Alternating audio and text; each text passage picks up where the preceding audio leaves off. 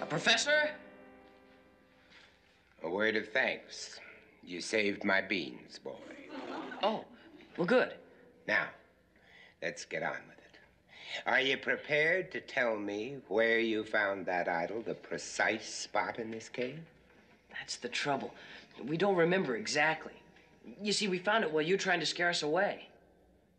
Shall we believe him, Oliver? Believe us, Oliver. Believe us.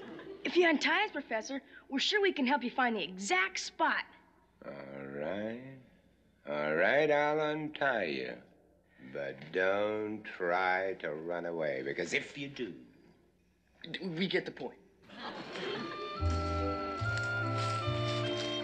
Hey. There's some more popcorn, honey. Oh, maybe it's not Bobby's. Maybe it's been there for days. No, no. With all the birds around here, not a chance. Come on, honey, let's go.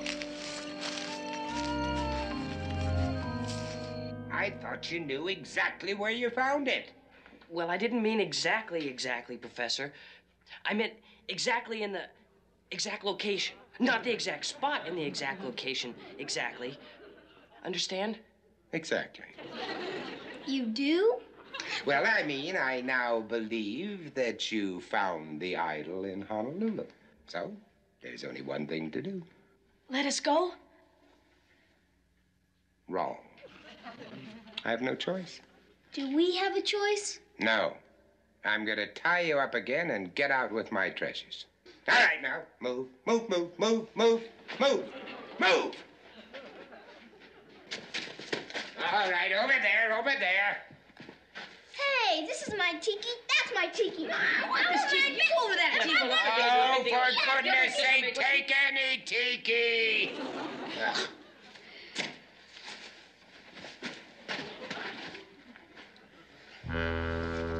Mike,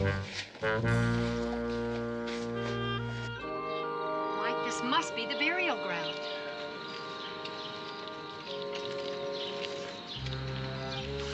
Carol, look.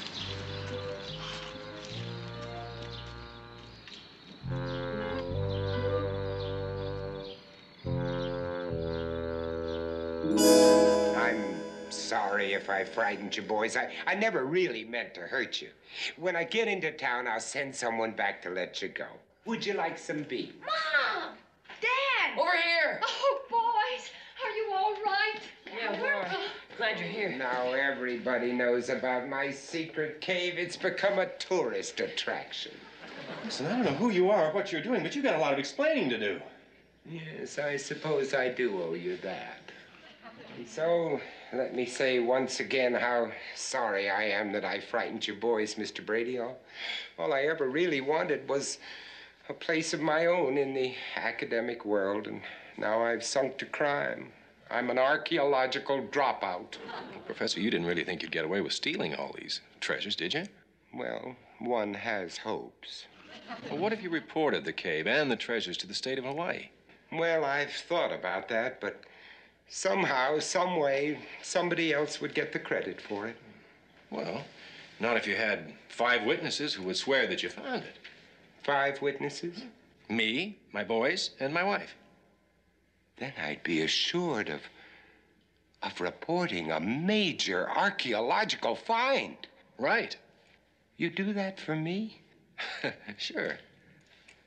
I'd be famous. Oh, Oliver. Oliver, did you hear that? I've done it. I've made a discovery of my very own. Me, Oliver, me. Oh, Oliver. Well, we found it. The tomb of the first king. And we put the taboo idol back. Honey, you know there's some very weird things in here. Oh, you're telling me. Oliver. Oliver. That's just Oliver.